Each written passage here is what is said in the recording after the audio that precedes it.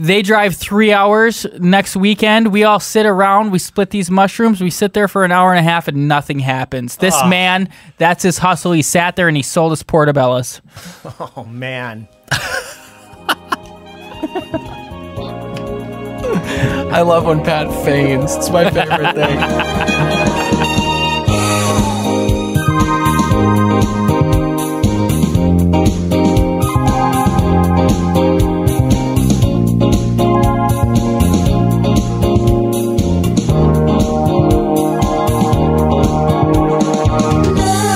Welcome aboard another brand spanking new episode of another Below Deck podcast. My name's Dylan. I'm saddled up next to my buddy, real Nicholas Davis. Ahoy, mateys! Patrick, the producer of the podcast, behind the glass over there. How you how you doing, guys? How's the Pinot Grigio tonight, Pat? it's wonderful. Uh, it's got a scent of apple and strawberries. It's lovely. Apples and strawberries, huh? Oh yes, very fruity. Um, well, we got to get into the show now. Um, yes. Do you have a comment? I was mixing shows, I think. I just liked last week's effect when we could he- audibly hear Patrick pouring, Pouring the the, Pinot, Pinot Grigio. And then I realized it was the other property, another. Oh, beautiful, though. Oh, wow, that's gorgeous. That's some ASMR. Did you just pour Lacroix into your wine? oh no, I actually emptied that can out while we were watching Below Deck to hide the fact that I'm an alcoholic. I went into the bathroom and poured another bottle of Pinot Grigio in the can. Well, that's not true. Now And the it- cat's out of the bag. That can't be true. And if it is true, I am unbelievably sad and don't even want to continue with the podcast because we need to have a conversation, the, three of us. The thing is, you don't have to hide it. We know you're an alcoholic, but when you start hiding it, that's what sounds the alarm, Yeah, Pat. that's what makes us really, really scared and concerned. Um, also, the track marks. uh, but anyways, we got to get into the. You you have like a weird birth defect there. Is- Plasma. I got it. Uh, so, uh, Jesus Christ. Uh, fan favorite segment thoughts, knots. That's where we give our thoughts and we also give our knots. Nick, not going to go to you first. I'm going to go to Pat first. Oh, thanks, Dylan. Kidding. I'm going to go to me first. Kidding again. I'm going to go back to Pat. Oh, thoughts wow. All right, okay, I'll keep it brief. I'll keep it brief. 50 knots. Yeah. Um, the episode was interesting only because I always like an antagonist. Uh, I hate this queen of a side bitch. What? Oh, I use that harshly. Who are I? you referring to? Oh, the queen of Versailles. Oh, the Queen of Versailles bitch. I thought you said side bitch or something like Oh, that. no, no, no. Okay. Uh, there, I, I, I, have some personal issues with her. Yeah, yeah, yeah. Uh, She's a saw the- goddamn nightmare. I saw the doc, and so it's nice to have her on the boat. Um, Nick, thoughts, knots. I thought Patrick was really low on that one. Yeah, I thought yeah, this was the the best episode of the season. Wow. I thought it had all the the stuff we talk about, or at least the stuff I talk about. I like them going out, Yeah. getting fucked up, shenanigans ensuing. Plus, it had all the good stuff on the boat. It had a new cast member. She's a weirdo. I'm gonna be really, really, really high here. I'm gonna, um, the the sides are gonna be busting off my ship. I'm going 82 knots. 82 knots. Good God. Good God. How dangerous is that? See an iceberg out there, you can't do anything about it. You're flying right into it. I bet the Titanic was going about 82 knots. no, no, no. Kate, uh, the queen, the Um, no, real. no, no. I think you're wrong and Kate's wrong. I think it probably was going about 82 knots. Mm-hmm. 1912, 82 knots, whenever she it was. said like 40 knots was like Patrick, the speed of Patrick. sound. We Patrick. know. We know. my thoughts, my knots. Um, you know, I was going to go much lower because I didn't think that it was a uh, an entertaining or engaging episode of television. But hearing your soliloquy right there, bump my knots up easy 10, 15. I'm going to give this thing 71 knots. 71. Yeah. which puts him right, right about 61, 56 knots. So you were initially around Patrick's area. Yeah. Uh, Yeah. But uh, And that's that, that those are the kind of secrets that math can unveil. speaking of thoughts and knots, and our last episode, which was titled "Not a Good Episode," Yeah. Did you know the below deck episode last week was? Are you doing this for real? Yeah. Oh my god. Did you know it had "not" in the title? Did you know that we had a conversation about the show having not in the title and us being confused with why Patrick was saying it? Did you listen to the show, Nick? Oh. I forgot. You should have seen his eyebrows when you said that. They skyrocketed. He was blown away. It, it definitely had uh, knots in the title of the episode and then anchors or something like knots believing it. This and is then not happening, Anchor. anchors. Yeah, something like that. Oh. Are you guess going to we- apologize? I'm sorry. All right, we need to uh, get into the episode. Uh, we're very excited to talk about it because we love this show so much. Um, last we left off, Joao was uh, bumming everyone out um, by making Anastasia cry.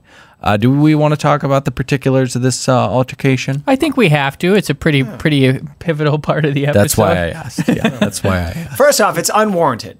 Completely. Uh, Jay, while I haven't seen this behavior before, now, Mm-hmm. unfortunately, the baby barnacles, they got a lot of attitude in that fucking group of ours. uh, I don't like them trying to correct us, okay? Uh, they pointed out that Joao was a complete douchebag on uh, last season, and he's been hiding it this season, but in reality, he's the biggest jerk in the seas, and we were fools for not pointing that out. That was that's kind of on me. I mean, I'm supposed to be the the Polaris, you know, uh, when it comes to all means. Last season, Joao was a complete dick, but we've made reference to the fact that he's a, a womanizer, and I didn't buy that um, that Brooke cheated on him and stuff like that. But this is kind of concerning. Um, it's completely unfounded. I mean, he's saying that it's ridiculous that she made this choice based on ego, as if like the crux of his his angst is coming from she should have had the foresight to know that by her taking this job, she was taking a deckhand away from him. And that's ridiculous. Like, why would she ever make that decision? Now, Dylan, I think that's an interesting uh, aspect of his vitriol towards her. But really, the fun part was when he was basically like, "Hey, you're a shit chef. Like, this is all a fucking joke." Wasn't that the real hurtful part? yeah, it was. That's that's what made her upset. I'm right there with Hannah on this whole situation. Yeah. Nothing he's saying is incorrect. Uh, she's she's not a seven star chef. It, it, it is, as Patrick said, a joke that she's been thrust into this position. But uh, there's a little thing called tact, a little thing called bedside manner. We talked about it last week. I mean, I don't know why he's surprised. I don't know why he keeps saying, "Oh, so the honest person is getting in trouble." yeah, what, what do you can't you can't be honest all the time. You have to have tact. And also, it's something that we never talk about on the show, but there's a little thing uh, called uh, positive reinforcement, which is maybe she's not, but what helps people get better is saying, hey, I'm behind you. You're doing a great job. The odds are against you, but you're killing it, kid. All this being said, I'm saying how he should have acted in like a, a social situation, like how someone should act. To be honest, I'm glad. And this is going to sound a little cold-hearted, but someone knocked Anastasia down a peg or two. She is she is sounding so Ooh. annoying every step of the way, and she just gets worse and worse and worse. All right, we'll get there. Not mad at that take. Not Well, mad hold at that on. Take. I'm not done with this take. Nick, I love that take. And well, I, Pat, remember this is the first minute and twenty seconds of the show, so well, I like it when we front load. okay. Yeah, yeah, yeah. Uh, drinking her own juice. I don't like this. She's uh, all bought into her own self worth as now a chef. She's bossing people around, and he has to sit there, chug a couple fucking uh, you know, Long Island iced teas in France, listen to this bag of bullshit, and sit there with his arms crossed and and not say anything. No, let her have it. How'd you know his favorite drink? I like to say in this situation, he played what Larry David in Curb Your Enthusiasm made famous. Social assassin. He played the role of the social assassin. It's LOL, not, Jeff. LOL. it's not going to be pleasant, but sometimes you got to correct people. All right. When I get into Ubers and they smell like bo, I, I, I on my way out of the Uber, I'm like, hey, here's a tip for you, buddy. The reason you're a 4.71 is because it smells like shit in here, Dude. And then I sprint away. So weird that you said that because I walked into a convenience store today to pay for overpriced nicotine pods because I'm violently addicted to them. And it smelled like shit in the convenience store. And I walked in and I told the clerk, I say, it smells like absolute shit in here, man. And he said, What? I said, It smells like shit in here. He said, What does it smell like? I said, Like shit and cheese. And that wasn't comfortable for anyone. No, it it had wasn't. to be done because you like him. You're the one that cares about him. he was not happy with me. He had a fucking mile and a half long stare. What is, is that the saying? Mile and a half long stare. That's it. Um, let's get to uh, nightlife, please. Not quite, not quite. What's Oh, I want to do a show. I want to be the Jon Taffer of Ubers. I want to be called Uber Rescue, and I'm going to get nice. in there and I'm going to dilate everything you have wrong. Oh, you have a center con- console that pulls down to give me a cup holder. Ah, that's going to dock you a, a tenth of a point. All right, Yeah. sir. Uh, you're you're listening to uh, talk radio in another language. Ooh, that's about three tenths of a pen point right there, right? We're we're gonna Talk make radio in another language. it's a I- real it's a real epidemic. I don't know if you're really uh, encapsulating the the thrust of, of Jon Taffer. No, you're blowing it. You haven't seen me when I get fired up. I'll I'll, I'll show them my wrath. You curse at strangers? I will if it stinks and they don't have a cup holder. All right, we got to get to the nightlife. Um, Aesha is cutting up a rug. Yeah, she is. And Joao says something uh, truly horrifying. I mean, really scary stuff. No need for this. No need for this whatsoever. I was con- kind of confused by it. Is he just, is he an angry drunk? I mean, some of us are happy drunks. I'm obviously one of those guys. Some people get angry and aggressive and hateful. Yeah. He's definitely one of those fucking guys. Yeah, it's this weird, like, cauldron of, like, evil goop just, like, bubbling up at the surface. Like fucking Ghostbusters. Totally. Like this this line, we should get to the line. I mean, she's she's doing a little uh, twerking on Jack, and he says, "You are so whorish, it's disgusting." What the Wow. fuck? And I feel like she didn't make enough of it. Like she was like, "He's like judging me for how I'm dancing." Jesus Christ, putting it lightly. He said, You're so whorish, you're disgusting. Where were some of these uh, quote unquote men, Jack or Travis, step step up? I wish he would have gotten punched in the face. They that were was too wasted, but that yeah, was horrible. That Yeah. totally did deserve It It was a so punch to loud in face. there. I, I don't think anybody actually heard it. I don't think she heard it either, yeah. Um, but I will say, I, I'm not defending this asshole, Joao. I will say, though, I think his anger was geared more towards Lazy Jack than her. I don't think he was happy No. seeing Jack uh, get his uh, uh, tor- uh, his getting torqued. No, I think it was directed at her because he said you're so whorish, it's disgusting. So I think it was pretty much directed at her. This is this sounds like something that would come out of Mila's mouth, but mm, I don't know. Joao, it was a little surprising. I didn't think it would go this far. I, agree. feel like the only way it could have been more directly directed at Aesha. Aesha, you're so whorish, it's disgusting. You took the words out of my mouth. I'm so sorry. I no, no, it. no. It was good. it was good. right. It was good. God, we're such good friends. Um, All right. So while this is happening, uh, Tra- uh, well, actually, probably minutes later, Travis and uh, Lazy Jack end up sitting in the corner, and they just talk about how much they fucking hate uh, Right. Joao. Yeah, yeah, yeah. Um, that'll carry on. They, they, I'll get to it later. They're very, they're frustrating the hell out of me. Um, But those two, those Yeah. those two slackers, me Yep. too. Like Yep. we've said it, there's a fine line. You can be fun, Yep. but but just carry your weight. And Travis just gets his nose into every situation. He feels like he has to be the moral, uh, right. moral. pol- What do what do we call that? What's the term for that? You know, you guys know what I'm talking about. The moral. the smile authority. police. Yeah, the moral authority. That is what I was looking Well, for. Well let's talk about Travis really quickly. He's leaving the club and he throws a stool at a, uh, I don't know, like one of those aluminum pull downs that uh, people have on the outside of shops. Uh, very loud and also something that could. It could bristle some people. Like if you're at a nightclub and you do that and the wrong person standing out there, I mean, you could get into a fight over that shit. Joao, I think Joao is disgusting for calling Aesha uh, whorish and disgusting, but I don't think that what he did to Travis was that bad. It's like, calm down. You're being a fucking moron right now. You can't throw stools at buildings. Thank God he didn't see Travis try and make out with Hannah. Um, what kind of judgment would have been uh, Yeah. would have been uh, put down upon him for that? By the way, let me bring this up because you skipped over Dilly. Uh, Travis did in fact try and stick his tongue down Hannah's uh, Yes, throat during the nightclub thing. I, I- just have to say this: the way that she handled this is, I think she kind of gently pushed him away and said, "Oh, I Behave. behave," Yeah. and then smiled and laughed it off. Uh, this is where I bring out international waters. I know we're not on water now; we're in France, but uh, this whole community of these yachties, Hannah- they, you get away with murder there. Hannah's not going to. I don't. I don't think that she really likes Travis. You can tell when they ask for the double date. There's a couple that's very excited about it, and a couple that's not. The delivery kind of was flubbed, but we'll get there. But Hannah is. She's no hussy. I mean, you guys don't remember, but last season she was with a guy pretty much the entire time, and they didn't have sex until the very last night when they were like on the rocks. I don't. It, Was she- it hot? they had sex on the rocks. All right, guys. Um, so they go home. But no, I had a thing about Hannah. Yeah. even though she pulled away, I don't think. I think she liked it. Even though she doesn't want to kiss him, I think she, she she just likes the attention. It's fun. She literally had no problem. Even though you were saying she handled it well, it's because she didn't she didn't mind it. And uh, almost like encouraging him to like try again. Yeah, he's a fun fella. He's got some sandy uh, uh, brown blonde hair. Um, I don't want to get us in trouble, uh, but I, I, you know, this was a, a, a, a Sounds different- like you're gonna get us in trouble. Well, I I kind of like this workplace environment, partying after work environment. A little Mad Men, you know, that a good show on AMC. You know, we don't have oh, the that one where the women couldn't do anything and they slapped them on the ass and drank all day.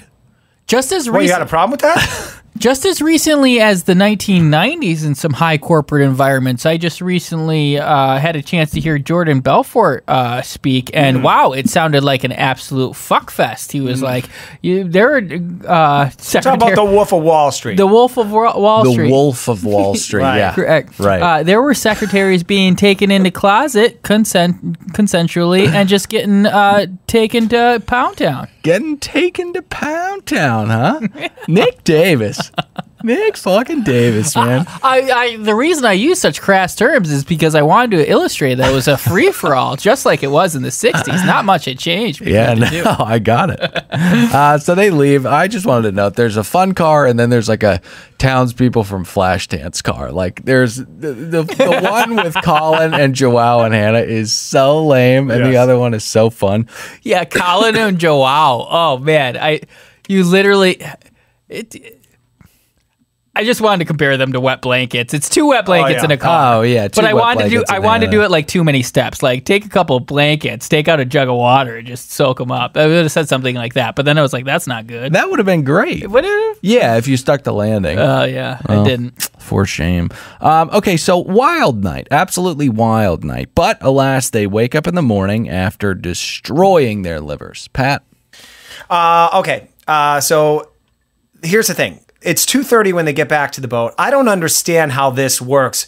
Uh, you have a job to do the next day. This is the most important day where you're manual labor. meeting guests. Yeah. Uh, why would you go out and get trashed on this night, knowing that in five hours you need to wake up and have your fucking shit together? My uh, my main issue is I, I don't think you guys should go out on this specific night. Wait for like when you got two days off, so you can nurse a hangover the whole next fucking day. Right. Um, and the work does, you know, suffer a little bit. Uh, Joao is very, very um, remorseful the next morning. He knows that he messed up. There's there's a term for it, drinker's remorse. Oh.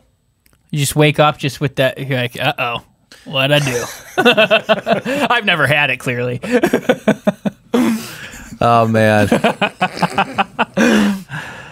okay, so moving on. Um, Joao says that he uh, cannot rule with an iron fist because of what he did last night. He ruffled the feathers of Jack and Travis, and now he cannot be as direct as he wants to be with them. Uh, no, you can. You 1000% can. Uh, Dill, I'm going to have to correct you on that. I believe what, what he was torn between was he felt like he's their boss and he's been a little too friendly, a little too buddy buddy with them, and now they're taking advantage of it. I don't think so. I need you to weigh in because I think he's the, the wrong take. How did you say it? I said that he messed up last night, so he can't be as direct and overbearing as he wants to be. It's definitely Dylan's Thank thing. you. Mm, and what I'm saying is, you're the boss. You're not here to make friends. They're beneath you and they work for you. So if they're supposed to be on deck at 10 a.m. and they're in bed slowly putting their shirts on, yell at them and tell them to move faster. But it's such a it's such a like a high school type atmosphere. You don't want they just don't want to be put in that p- position where seven weeks they're hated. You know, Yeah, no no but- one wants to be Caroline. Yeah, but you know what's worse? What Joao does tonight, where he's like sucking up to Travis, and Travis like the second Joao leaves the room, he's like, "What a fucking wanker that guy is." huh?" It's like he lost the war. Just make them work. True, Um, true. Anastasia still seems a little taken aback by this whole chef thing. Before we get to the preference, Are you talking about all the fucking gloating? Well, I mean, you you brought something up when we were watching. I would like her to be taken down a peg or two. Okay, let's get to the preference sheet meeting. Uh, we've got Jackie Siegel. She's a socialite, and uh, Pat knows a tremendous amount about her.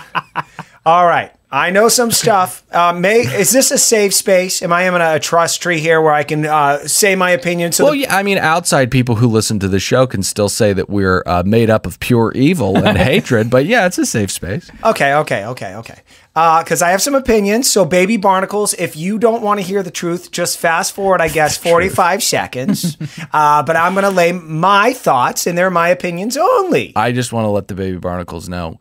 45 seconds seems a little light. Might want to buffer that with 45 on the on the opposite end. Maybe you'll be in the clear. I'm going to say this is about four minutes. Okay. I'm guessing. Pat, Let's run it to about 60. Here we go. Uh, this lady from Florida, pageant queen, married a fucking prime source of wealth involved in sucker, suckering filthy, yucky normies Select from her. cold places into predatory timeshare deals, bad loans, essentially getting uh, 18 people to all sign off on owning a fucking condo. That's how the Queen of Versailles made money. it's like Not a pyramid scheme light. a pyramid scheme. We saw that. We saw bits of it in the in the documentary. Her husband's a scumbag. He's a womanizer. He's definitely having sex with multiple women behind her back. If we peel back the, the curtain on this, we know that he's having multiple affairs. She's spending all his money, but that's not the worst of it. Why I have a problem with the Queen of Versailles, and again, this is going to offend some people, is She's her, overweight. No, no, no, much worse. Her daughter uh, died of an overdose for opiates about three years ago. Uh, the Queen of Versailles went through all her diaries and decided that she would take her daughter's diaries and then print them as a book and then go on a tour for the last year uh, talking about how she didn't overdose, but she was suffering from depression because she met a bad guy. So not only is she in denial about her own bad mothering, so that she raised a fucking drug addict, she's blaming it on a bad relationship and not really taking in that her daughter died of a fucking drug overdose, and then printing her own diaries. Jesus. I think that's pretty disgusting. And Christ. so, uh, by the way, if you guys are back, I'm done uh, uh, giving my opinion. Holy shit. Dylan nailed it, by the way. That was that was a uh, minute thirty on the nuts. Knew it. Uh, but that is abso- absolutely disgusting. Like, yeah, there's. What a bomb you just dropped. Oh, thanks. I'm sure we're gonna get a bunch of one star reviews for this. Why would we get one stars about like you didn't you didn't say anything? I think because women will probably say that how dare you judge a mother and her mothering and I uh, think all we that. might get one stars for that. But um, all right, let's get to the preference sheet. Uh, we've got a lot of demands from this uh, this Jackie. Uh, we need a blow up doll birthday. We need a picnic atop Eze. We have a celebration of life dinner that we're going to um, to be throwing. I mean, good. We're gonna God. read excerpts from the journal. Ugh, horrifying. That doc sounds like a bummer. Why are all docs bummers? Well, this one was good because you got to see a bunch of self-entitled rich uh, people get taken down a peg. And uh, you know what? That one on Alex Honnold or whatever, the the mountain climber, that wasn't a bummer doc. That was very inspiring. A little long. Didn't need a didn't need the info about him and his girlfriend. Just wanted to see him climb. Oh, are, are we talking about uh, the one that just won best uh, Best doc, yeah. Yeah, well, he's a little weirdo, and he'll be dead in three years. Don't worry about it. Oh yeah, I think he'll die very very soon. What soon. was it called? Free. Uh, free solo. Free solo. Free solo. Free solo. And also, um, I don't know. Does Planet Earth count as a documentary? Because wow, the wonder that is. Oh. I can't watch Planet Earth. Why? You don't like seeing animals eat each other. Yeah, I can't do it. It makes me too sad. It makes me really really sad In when the I see really- an animal get taken out. In the really early Planet Earth, there's not a ton of death. There's actually some some really incredible escapes. Now Planet Earth is really tainting their brand. I will say the first one took ten years to film. Now mm-hmm. they're seem to be pumping Right. out a new hour. Oh, the every doc week. should Yeah, be called yeah. "Watch Animals Eat Each Other." Yeah, no, really. it's really really sad stuff. You know, this this one time I was watching a uh, uh, one of those nature docs with my father and uh, a female. I think it was a leopard or a cheetah or something like that. Uh, the, her cubs had been eaten in the night while she was away hunting uh, for them, and she came back and they were gone, and she started meowing all night, howling, meowing for them. sad. I I cried my eyes out. I, I just can't do it. I can't watch stuff like that. Uh, if I was a cameraman, I'd go over there and I go, "Hey, uh, what what ate him?" I, ca- I don't know. Oh, I'm the coyote! sure. I'd shoo him away. I go, Right. Hey, we'll get this later on with some CGI. Okay. Me too. If I was one of those cameramen, they'd be like, all right, number one mandate you can't interact with nature. It's a butterfly effect. If you do, You can't do it. I'd be like, got it. I would start firing off rounds. Anything that came close to these beautiful animals, like a hyena, I'd shoot a hyena if it was trying to take down like a gazelle or something. I think it is glaringly obvious why both of you are not camera operators for Planet Earth. And I would say give it a chance. I, I, this sounds cliche, but my absolute favorite pastime in college was just to get as high off my. I bought a plasma TV with my student loan money. Oh, plasma. And I would just love to get high by myself and watch some Planet Earth. It is riveting. Did you pepper any uh, masturbation in there? I would say like way before. I like Before. to I like to be in a, a state of extreme relaxation when I watch Planet Earth. yeah. Jesus. Um, all right. So, what shall we get to next? Um, any highlights you guys want to jump Oh to? yeah, yeah, yeah, yeah. Uh, all right, so this is you know I'm not a big fan of uh, the Queen of Versailles. What are we talking about? Before we get to the the new stew, uh, Joao gives the uh, the the filthy scouser a punch list. It's a long list, and uh, Jack says that he first he complains about how long it is, and then he says okay, and then he says this is going to take. Oh no, he says I'm going to deliberately take the entire day to do all of this. Mm-hmm. I just fucking hate this guy. I get that he's funny. I get that he'd be a great hang at the pub for a Liverpool game, but yucky, You can never- yucky. I don't like you. You can never respect this guy. I hope this is just a shtick for TV, but you can't respect a guy who prides himself in laziness. Yeah, uh, it's and gets off on it. Like I'm gonna do as little as I can. Yeah, I will say you misquoted him. All he said was like all the stuff he had on. no, that was later. when later on, no, later on, he actually gonna- says, "I'm, I'm basically uh, my plan is to do nothing." Well, I apologize. I thank you very much because I was about to go fucking berserk. Uh, I would like to watch a uh, foot, footy game with uh, with Jack though at the pub. Oh yeah, it'd be a good time. okay, so the new stew gets on board.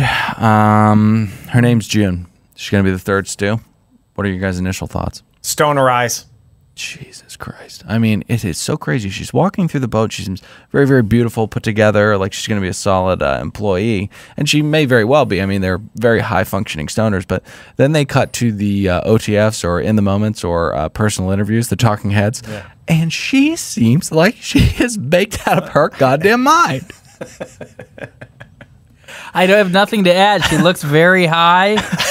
Uh, I mean, her eye. It's like a just like it's just a slit. Yes, uh, two slits. Mm. It seems weird. Like I don't know how she got the pot over there. I'm convinced that she's got a some some piece of high technology, some some high technology marijuana device on that boat that she's secretly puffing at. Because boys, you you know that I'm not filthy uncultured swine like you. I've traveled the world, Like me, Nick. like you, Nick. Um, I've been to Nice and I've tried to purchase weed in Nice, and it's not the easiest thing in the world to do. You have to stumble upon a breakdancing crew in the middle of the square and uh, talk to them about where they come from, and slowly and slowly build up to the point where they offer to sell you a little log of hash that you can't really smoke. I mean, how do you really smoke hash? But that's kind of how it goes in Nice, baby.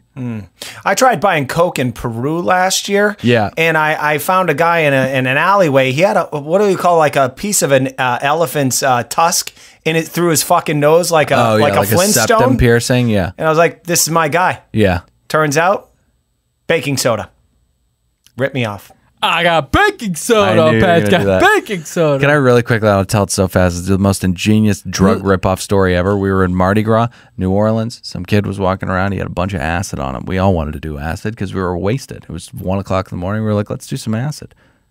He had pieces of paper perforated eight and a half by 11. He was selling a square for 20 bucks. There was nothing on the paper. He was turning a fucking piece of white paper Into a thousand dollars. into a thousand dollars. Genius. That sounds like a motivational like speech. Do you know what I could do with this? Can I one up you though with a with a drugstore? Absolutely, of course. We've all got one, and who gives a shit? The show is Yeah. meaningless. right, absolutely. So Thank you for listening. it's Nick's College Stories Day. My very first day up at uh, University of Minnesota. We're waiting to take the bus back to our campus because there's two campuses. Yeah, yeah, yeah. And uh, we're waiting at a bus stop. Uh, me and a couple guys I had met that night at a party. Oh. And we there's a homeless man there on the bench, and he he was like, "Oh, you guys seem like you're trying to have a good time. Would you you want to trip on mushrooms?" Hell yeah, we'd like to trip on mushrooms. What are you selling? A quad for $70. I was like, that's a hell of a deal. I had just done mushrooms for the first time three days prior. We take these mushrooms home. Quad for four of you? Huh? A quad A for four of you? What are you saying? A quarter for four of you? Uh, it was it was three of us. and Three of you, okay. Three of us. We bought the quarter for, or no, half ounce. I don't know. I got a quarter for seventy dollars. Yeah, we got a half ounce split. Oh, okay, because I was gonna say if you don't do uh if you don't do at least an eighth, you're not doing mushrooms. I'm glad you uh, you're a stickler for details. Anyways, too late to do them that night when we got back. I tell tell my friends back home. Wise move. They drive three hours next weekend. We all sit around. We split these mushrooms. We sit there for an hour and a half, and nothing happens. This man, that's his hustle. He sat there and he sold us portobellos. Oh man. I love when Pat feigns. It's my favorite thing. so really sorry about that. Let's get to Anastasia shopping now. Oh, are we guys, talking about Bravos Below Deck? We absolutely are. Now, guys, I, you know, you love hate with Anastasia, but this is a beautiful move. This is what Mila had so wrong. Mm-hmm. You were in the Mediterranean. Take a couple hours, go to a farmer's market, and buy incredible ingredients. If you're not that great of a chef, make the ingredients sing. If they're good ingredients, it's going to taste beautiful. So now we get a great line from Colin you know, when June's talking to him and he's like, you can ask anyone anything, any questions you've got, just fire them off, except to me because I don't know anything. Oh wow. he nailed it. Hey guys, There goes Pat Feignin again. how did that clip not make the intro of the show? I mean, it was so good. I mean, ah, I laughed. I, I Pat, asked are you you guys. okay? Yeah, Are you okay? yeah, I'm wonderful. Seemed a little bit too enthusiastic about that line. Well, it was really funny. I remember when I made you guys rewind it back three times. Like, did, did See, you see how that's just what? I thought because that didn't happen. That didn't happen. I think he's dripping in sarcasm I think he is. Because we like the line, but he, I mean, Oh, he. You don't think that- he liked it that much? I, I I think his point is, hey, Colin, if that's your fucking highlight, you need to go back to the drawing board. All right, you're Yeah. not having a great season. Go back to the haha ha room. Take those stand up classes, okay? Haha, cafe. Yep. So, anyways, uh, the crew lands. Uh, here's where the Queen of Versailles steps her big, big, big uh, calloused fat toes on the uh, ship. I don't know what it's called. Uh, not a Yacht. fan. Not a fan of these people at all. Uh, Jackie is a rude bitch, and not like the fun kind, like Rihanna. She's a rude bitch. um, we all talked about this, but it does seem like the Xanax is not worn off yet from the flight. Yeah, I, I feel like I'm gonna say I agree with you there, Dilly. She's on something. Pills are good. a couple uh, quick things. Do not ever say, for me, every day is a holiday. This is your life. This is not an intro to a Real Housewives episode. Also, don't ask if there's an elevator. Lug your ass up those steps. You could use it. And also, don't ever say your house is so big that you have to use cell phones to communicate. Ooh, and also, don't ever take your deceased daughter's diaries and publish them for profit. You psycho, you rude bitch. I really want to reiterate that last one. Don't do that. Don't do that. And I was, I would say maybe if the house was a little smaller, your daughter would still be alive today. Oh, yucky from you, Pat. I think it's a great metaphor for the distance in their relationship. Yep. It's almost like F. Scott Fitzgerald wrote it down or something. All right, so um, she asks for her bags to be unpacked. Um, she goes up to the to the bridge and asks for this, and this th- this fucking psychotic passive aggression. She says she feels like she's missing out on something because she has to be there. Shut the fuck up. Go drink. Do you really need all of your stuff unpacked right at this very moment? I don't think there's enough stewardesses in the world that could handle her baggage.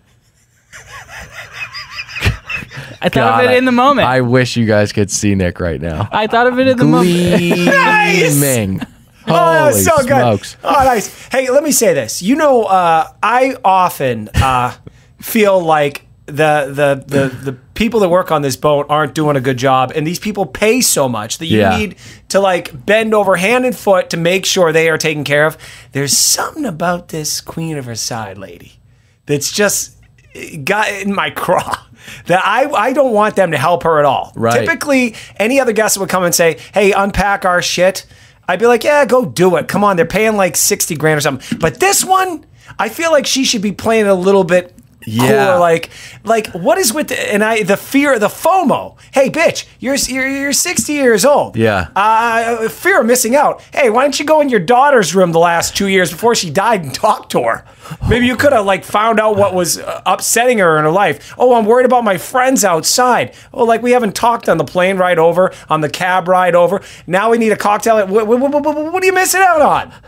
And also, I have a, a tough time reconciling um, my because I agree with you. We've always said like they're paying so much money for this, the service should be so much better, but they they really do milk the cost of this experience, and I have a problem with it. I shouldn't because they're paying an exorbitant amount of money, but the demands I would perceive as unreasonable, though they're not. I think it's just because I don't like her because she murdered her daughter. I'd like to agree with you, but I think I'd get real weird with it.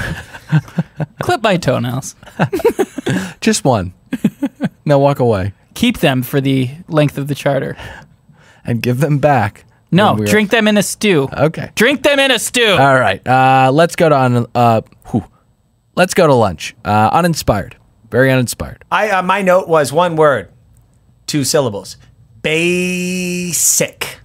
Yeah, I mean, you know, there is something to be said for making all of these from scratch, but yeah, maybe because we're, maybe we're a little jaded. You know, we get a lot of this kind of food. Maybe it seems a little bit more basic to us than it would to normal. we are in Glendale, California. It is the American capital of Mediterranean food. Yeah, I, I wish you didn't say where we are. Why? It's just so embarrassing. We're in the So American capital of Mediterranean food. I, I had better tabbouleh at Kebabwe. We're at a different meal, aren't we? No, No. They Oh. had tabbouleh and Greek salad and Oh, baba nice. ganoush and hummus and eggplant. And fried calamari. Give me a fucking break. Yeah, here's the thing: the chicken, the hummus, the baba, the tabbouleh, the Greek salad, maybe the eggplant was used for the baba. Um, where's the calamari coming from? I feel like you just threw that in there. Yeah. Wait for that heifer to get peckish, then throw the calamari out. She's gonna want it. Save that squid. You know so much about food, or at least the uh, ability to talk like you know so much about food. You got it. um, so they love for lo- uh, excuse me. So they love the lunch and ask what's for dinner, and this is where we get what you called mint jellygate. I did not. I, wa- I want They it. did. I want it stricken from the record. I did not call it that. Uh, we've got. I want it on record that I didn't call it that. I want it stricken from the record that Dylan said I called it that. We've got mint jellygate, as Nick said. Uh, you can't just we Strike it. She's asking for mint jelly. Um, now. This cotillion raised moron would be asking for mint jelly with her lamb. Listen, I get it. A nice chutney, a mint jelly. It's- I'm not understanding any of these words. What you know? Cotillion, mint jelly. What was the other? Uh, chutney. yeah, chutney. chutney.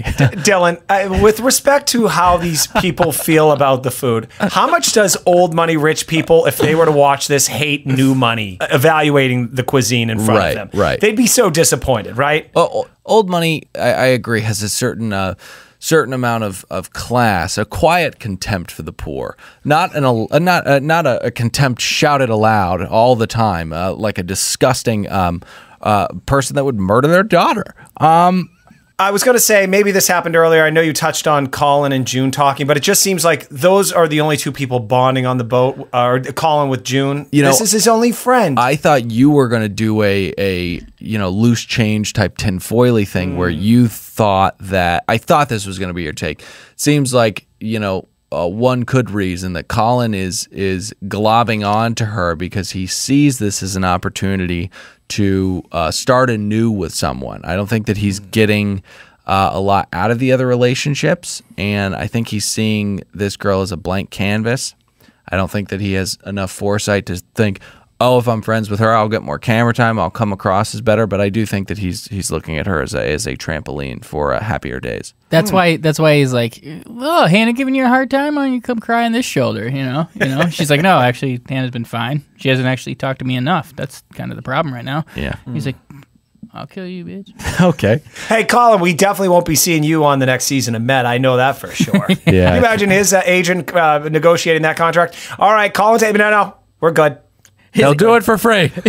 No, no. His agent, his agent just has no idea what he's doing. He's like, he's not going to be on your network unless he gets his own spinoff. right. His agent is like a 19 year old USC student who's doing this because he's overly ambitious. Um, okay. Dinner's coming up, I guess. It's daytime, but as they're prepping, all this fucking blow up doll bit shows up. These plastic dolls show up. Apparently, it's Right. for her son that actually isn't her uh, her blood. The, I'm talking about the Queen of Versailles. Stepson, yeah. It's his this guy. Her husband's been married to multiple like beauty pageant queens. He's shit out a ton of kids. He's got nine with her. I mean, eight. Wow. Wow. That was great math, Pat. So, um, I noticed something here with the blow up dolls. Very unnerving. Not the blow up dolls, but I think that they are indicative of something weird going on. There's one guy and like four or five girls. It's him and these other women it just seems strange that he wouldn't have i don't know a buddy come along an associate come along like are they mixing it up are they all taking a bite Hmm. Interesting. I'm, it's taking me a little bit to take this in because I didn't think about it in the moment. But now that you say it, I think he is running through all those sisters of his. Yeah, and I, his I did quotation marks. Well, uh, actually, gentlemen, uh, the way they set this up at the uh, in the charter meeting, uh, the preference sheet meeting, uh, they had said that it is her son, who's not a real son, it's her stepson, And his wife. and his wife, and then her friends. So I don't know if he's running through all of them. i think they're all they're all snacking i think he's got his feet up like they're in holsters and i think they're all coming by having a taste how many licks does it take to get to the center of a tootsie roll Three. Tootsie Pop. Excuse me. Fucked it up. God damn it. Okay. Um, Jack and Travis. Oh, first let's get to dinner. Um, we get lamb um, lamb lollies with uh, red cabbage and mint yogurt sauce. Very very risky move here, Anastasia, but it does it does work. Um, at the end of the day, you just can't do jelly. Um, maybe a warning shot would be good. Maybe you say, "Hey, I'm really, really sorry, but we can't get you the jelly. What I'm going to do instead is a dill mint yogurt sauce, and you're going to absolutely love it." Oh. It's just like what Why are you want. laughing? Know so much about food. Hey, Dale, what, while you're you're contemplating uh, the, the dinner service, I was wondering why this Queen of Versailles is wearing that fucking sash and, and the and the tiara. Oh, didn't didn't notice that. She wore that to dinner. Maybe because she's a narcissist and a murderous psycho. Well, I'm glad you said that. Uh, D-listers, I've noticed this. When they got like artifacts or like costumes, they take it to their fucking grave. Bob Denver, uh, famously Gilligan, yep. every TV appearance he did 30 or 40 years after being on Gilligan's Island, Brought the stripes. he wore that the stripes Oh. and that fucking hat Huh. till they rolled him into a, a, a drool home. So there is a Bob Denver. I'm sorry, this solves a little bit of a mystery for myself. Ah. In our other property, another Bachelor podcast, we were talking about celebrities who died in plane crashes. Two Bob Denvers, I'm sorry. One was a country singer, another was a the, D-list oth- actor. The other one was John Denver. Is that who died in the plane crash? oh, am I Yeah. a fool right now? Yeah. So in the moment, I was like, I thought he, I thought he was combining Bob Dylan and John Denver. Well, Bob Dylan did die in a plane crash, so I understand why you got that wrong.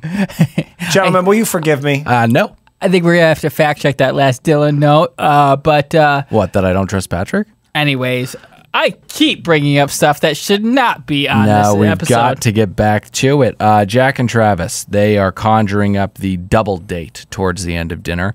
Um, you know, everybody's kind of tidying up, and I did call this double date gate. I love a nice rhyme. that supersedes your hatred for the term gate. Huh? It's true. It's true. Double. Alliterations are magnificent. Um, Jack and Travis call the two girls up to the uh, to the bridge, Giddy as fuck. and uh, you know they've agreed upon a plan. They're going to ask them both on a double date. Now you can't trust the filthy Scouser at work, and you can't trust him to remember five words because he says Travis and I wanted to know if uh, you, Aesha, would go on a date with me.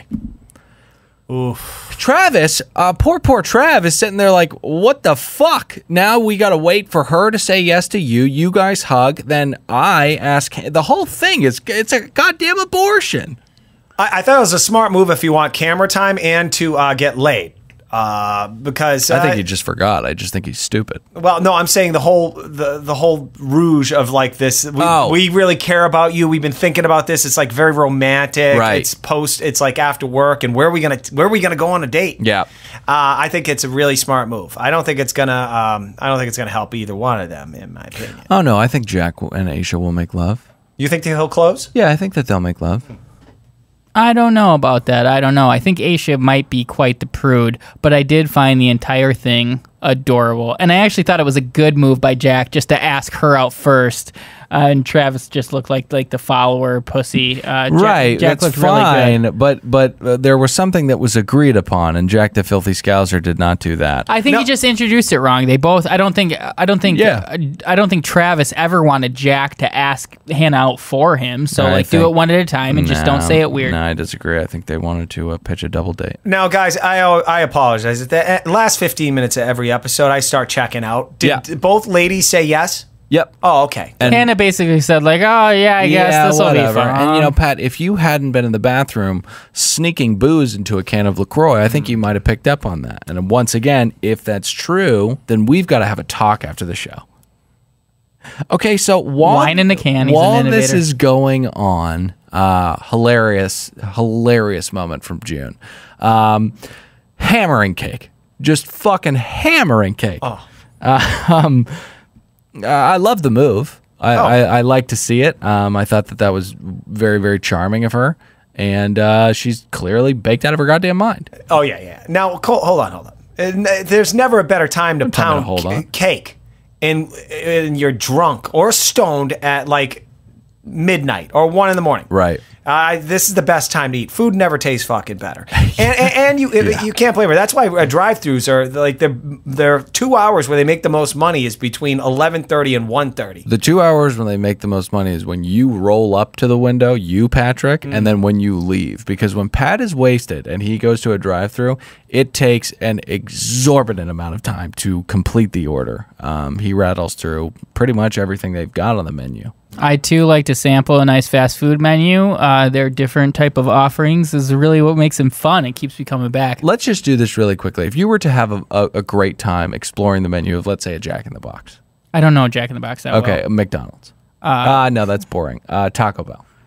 I mean, I, I want them all. Anything you've ever seen a commercial for. I want a cheesy gordita crunch. I, Okay. I want a crunch wrap supreme. Okay. I'm gonna get their regular, just soft tacos. Their hardshell tacos. A loaded potato potato griller, which doesn't get enough commercial Right, right, time right. No, to be honest. no, it doesn't. Um, I mean, all of it. Yeah. Don't sleep on the Mexican pizzas, dude. You have to sleep on the Mexican pizzas. Oh, that the dollar menu's got that thing cheese Taco roll. A lot of people like these Mexican pizzas. They're overrated. How about the Taco Bell uh, Grande? The nachos. Sorry. Okay, so the next morning, uh, Jack. I had one more thing to say about his prime time, uh, that two hour window for fast Yeah. food. That is exactly why one time in 2015, when I was Ubering uh, uh, around Los Angeles. you mean driving an Uber like Pat does for a living? Yeah, yeah, yeah. Driving an Uber, uh, like Pat does for a living. Uh, I picked up a, a couple of uh, nice young ladies who turned out to be lesbians. Not really important to this story, except possibly im- uh, explains their anger. They asked to go. They asked to go through In-N-Out drive through at about 2 a.m. and there was a, a line of about 14 cars, as there are. Right. And it was this was back when Uber surged. They've really taken control of that surge. It doesn't really get out of hand, but I'm telling you, this is like a five to eight time surge. All right. There is no way I'm taking you through this drive through. Right. This is when I make my money. I refused. I said. oh. I said I can't take you through the drive-through. I can drop you off. Um, I can do it over. I can ta- they were irate. Daddy they, needed to go get that Skrilla. they gra- yeah, daddy, daddy needed to go get that Skrilla. Your payday was on Sunday, so all the this was my last time to accumulate hours. Daddy needed to hit that track. Daddy needed to hit that track. So the point is, I told him to get out of my car. They ended up grabbing all my waters out of the back seat as like a protest. Slap my slap my rear view mirrors. Luckily they're on hinges, so I didn't really do any damage. But The they side were mirrors? They were angry. Yeah, yeah, Wow. yeah, yeah. You want to know why, Nick? They need some fucking cock in there. Yeah. Oh, good for you. Good for you. I think for it would you. it's so it would have been so much softer if you just said dick. They needed I disagree. I don't think it would have been softer. they need to I be think dick uh, down. I think your philosophy stands I true. think it's equally as offensive and purposefully offensive. And anybody listening, please know that that, that Pat, why are you red faced right now? This is disgusting. What you're doing? You're trying to get us one star reviews. You're like Milo Yiannopoulos right now. It's a filthy fucking thing to do. Whew. I'm sorry that happened to you, Nick. What a gauntlet. What a tale. the point is Pat's right about that two hour primetime window for fast food. Yeah. So And Uber um, next morning, Jackie comes into the galley and says, um, you know, a lot of stuff that makes me that made me hate her even more. Um, arguably worse than killing your daughter, saying that you're a trendsetter. She said she's a trendsetter. yeah, she said, please boil the quail eggs. If I have one, they're going to want one. uh, you know, I'm kind of a trendsetter. People didn't wear fanny packs until I started wearing them. You self important heifer. You fucking murderous bitch. You should please put yourself down voluntarily for the sake of the human race as quickly as possible. Do it the same way your daughter did. Everybody knows that Joe Rogan brought back the fanny pack, and if you disagree, I'll fight you. Whew, you think we're gonna get one stars tonight? No. no, We're definitely not hitting hardcore new Below Deck fans. Uh, no. I don't. I don't think, think, we're so. their cup of tea. I don't think so. Um, so what was the confusion between June and Hannah? There was this weird like Forks. I, I wish it was more. I didn't understand what happened. they were setting the table and she couldn't find the forks. Uh, you I thought it was about like packing the bag or something like where. Oh, I'm sorry. Are you are you when they're actually packing for lunch? Yeah, Because was- did you discuss breakfast yet? It was basic as well. oh No, no, no. uh, June just was uh, kind of trying to make conversation because I felt like she's she hasn't been Hannah hasn't been attentive to her. At least that's how she's feeling. So she was just like, so like, yeah, we got the bag packed. You know, the bag's packed. And Hannah's like, cool, get the fuck out of my face, you weirdo. Right. And Essentially. Hannah said she has strange energy, um, which I get because she's freaking high out of her mind. She probably doesn't know how to behave towards a new uh, superior when you're that baked. People can pick up on paranoia. She's high. She's paranoid. Yep. She's she's like, am I doing it right? Am I doing it right? Yeah. It's it's not good. Um, all right. So let's. She's no Jack. So, um, we've got a little bit of an audible here. Another audible from uh, from a rude bitch. Uh, Jackie says that she wants to get going in 20 minutes to Eze, not the hour and a half that they had planned for, because they have to cook meals and prep the boat, and you know, just have a paloma and lay up and tan that hide of yours. Now, I don't like the Queen of Versailles. Obviously, I definitely don't like what she did to her uh, oldest daughter. But I believe that she put that out there as a request, uh, not uh, a demand. Well, when 1145 came around, it seemed like the demand was rather concrete. They were being rather impatient and they wanted to get off the boat right then and there. So y- th- this is this passive aggressive thing like, hey, do you think we could possibly do that? And then when it doesn't happen, they treat it like it was a directive that was um, agreed upon. Horrible people. Horrible people. Um, at the risk of capsizing, they do get Jackie and her friends to the shore. Um, and then Colin has to go back to gather ingredients. Excuse me? To gather ingredients. Now, you know who helps him? Every single girl on that boat. You know who doesn't help him? Jack? Jack and Travis. I'll, oh, they're uh, they're having fun. They're going down the slide. You don't. They look. it's crazy. you owe it to that slide to use it. I mean that that is way underused. At what point do we stop saying like they're fun and start getting a little cheesed off? Like I don't know why this is okay. I feel like everybody gets leashes that are way too long on this boat. Mila should have been fired at the end of the second episode, and Travis and Jack should have a stern fucking talking to. It would be good television and it would improve the workflow of the boat.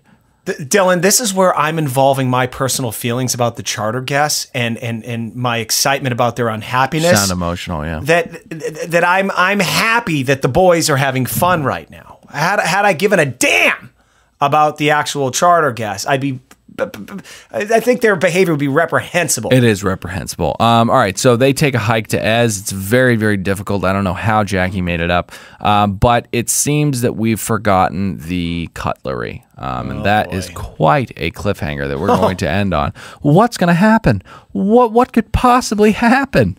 Um, before we wrap up, I'll be damned if I forget it again. We've got a fan favorite segment where we uh, we talk about. Well, I don't really understand the segment. Can you kind of break it down, Nick? It's it's your uh, it's your joint. Well, you haven't even told them what it's called. Errors and omissions. I'll explain errors and omission. It's places where we erred and things we omitted. Okay. And uh, we've got a big one this week. Only one, but it is a big one. It's a doozy. Um, we, of course, I have no idea in what context, brought up the classic movie Bring It On. I said, "Burr, it's cold in here. There must be some clovers in the atmosphere." I mean, I I know where you're going, and I'm ashamed. My tail's between my legs. We all know that the cheer team that Gabrielle Union captained Yep. was not the Cloverfield Clovers. Yeah. Although in the moment I didn't know that. I was like, that's pretty funny that were, they did that. were they the, the, the, the, the, the cheer squad for the city that was ravaged by T.J. Miller's bad acting and that monster? No. they were from the city that was ravaged by uh, poverty and gang Systemic violence. racism, yeah. Of what? Anyways, it was the East Compton Clovers. Oh my God! See what he did? Oh, dunce! Put a dunce cap on my head. a Dunst cap. A dunce cap. Kirsten Dunst. Oh wow! Or a, a douche cap. Eliza Dushku. She was in that? Oh yeah, big time. Big she was crush so hot on in her. that. Big crush on her when I was a young boy. that dunce cap thing might be the most clever thing I've ever said. It might be, yeah. I'm so glad we ended on a high note. Guys, we're going to be back next week. Remember, hop in those iTunes ratings and reviews. Give us the stars you feel appropriate. I know that after this evening, it may be difficult to give us five, uh, but please do. I could give a shit about the Another Below Deck podcast ranking. Give us ones if you want them. We need another review segment, and ones are so fun to read on air because of how angry you are. Uh, follow me and Nick on Twitter at Dylan Pete Wren and Real Nick Davis. And what? I just love how you give these plot like you follow. All of a sudden, you're into Twitter, so you start giving these plot. I'm not mad at it, but I, it's like we got to plug our Twitters. I've, I've always wanted following. We've never plugged our following. All of a sudden, Dylan gets into his following. I'm plugging your Twitter too. I know, but that's the thing. It's only because you wanted yours. That's the end of the episode. Uh, we'll see you guys next week. Remember, follow me, Dylan Pete Wren on Twitter. Uh, follow di- follow Pat on Instagram at Patrick Dude Show. Uh, say goodbye. Nick, say goodbye. Goodbye. Pat, say goodbye. All right.